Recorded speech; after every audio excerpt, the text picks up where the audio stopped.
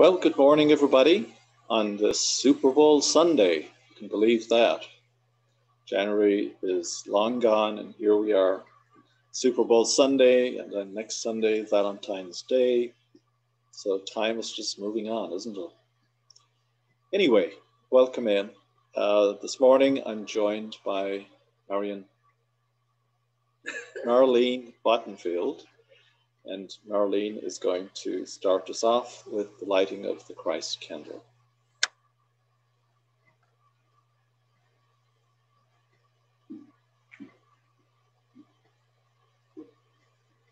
Good morning, everyone.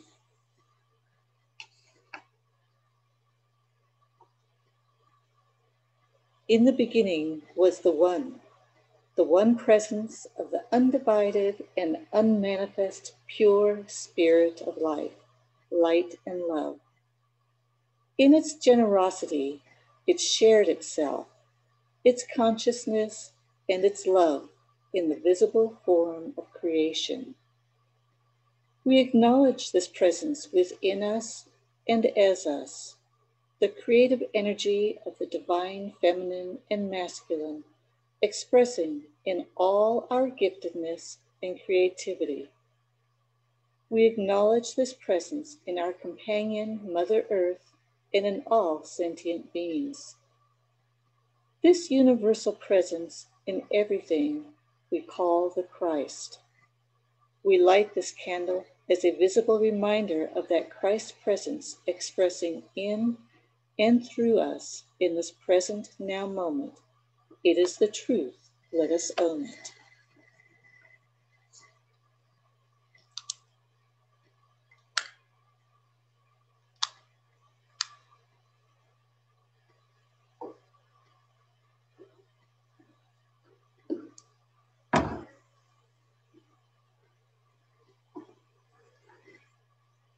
Thank you, Marlene.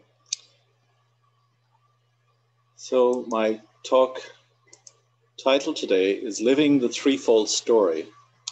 And we will get into the meaning of that a little later. And overall, our theme, of course, in February is love. It is the month of love. So that's our overreaching, overarching theme.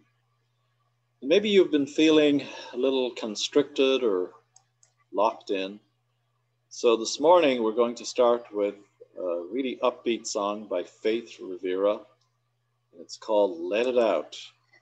So I'm going to encourage you all to let it out this morning.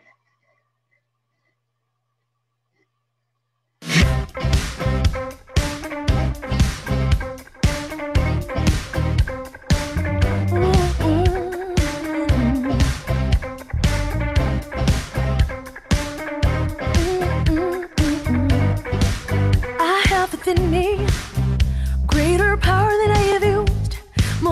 than I have lived, more strength than I've known. I have within me greater talent to express, more courage I can muster, more faith that I can show. Oh, I am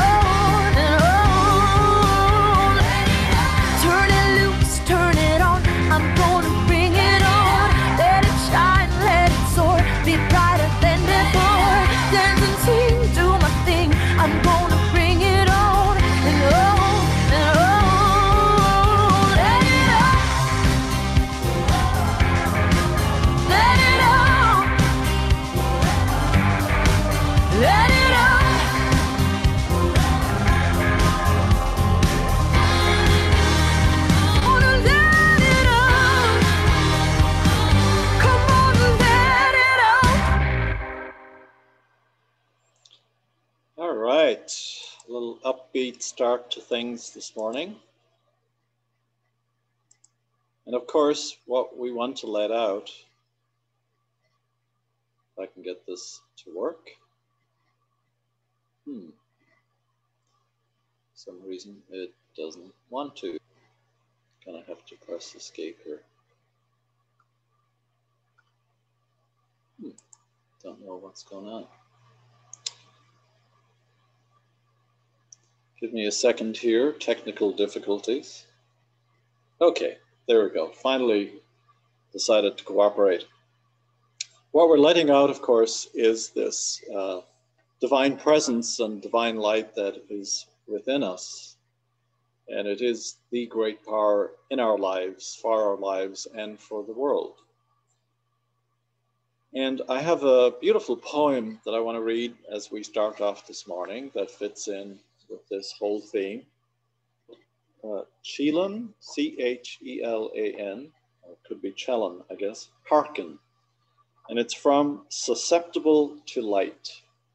And it says, The worst thing we ever did was put God in the sky out of reach, pulling the divinity from the leaf, sifting out the holy from our bones, insisting God isn't bursting dazzlement through everything we've made a hard commitment to see as ordinary. Stripping the sacred from everywhere to put in a cloud man elsewhere, prying closeness from your heart. The worst thing we ever did was take the dance and the song out of prayer, made it sit up straight and cross its legs removing it of rejoicing, wiped clean its hip sway, its questions, its ecstatic yowl, its tears.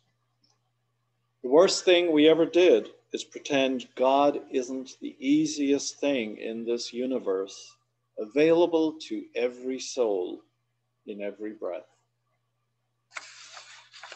Ah, yes, a lot of truth in that, that we have removed God in the past, and especially in terms of the religions, and have pushed God way out there, away from us and away from each other and from our interaction and experience. And so this morning, we're pulling, we're pulling that presence inside of ourselves and anchoring it and embedding it there and recognizing it in ourselves and between us in our interactions.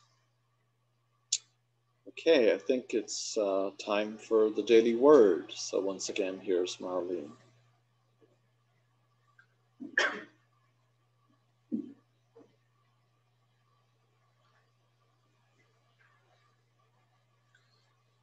The daily word for today is inner peace. I express the peace of God. Peace, be still. With these words, Jesus claimed his authority and calmed the stormy waters. Following Jesus' example, I too claim authority. In a stressful moment, I center my awareness in the divine presence that lives in me and expresses through me. This divine presence is perfect life, love, and wisdom.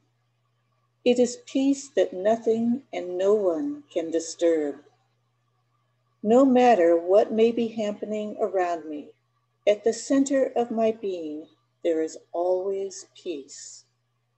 It is an aspect of my divine inheritance, as near as my next thought. I release all fear and tension and embrace the peace of God. As I do, divine peace radiates from the center of my being. It clarifies my thoughts, calms my emotions, and relaxes my body. In every situation, I am a presence of peace. Those of steadfast mind you keep in peace, in peace because they trust you. Isaiah 26 3.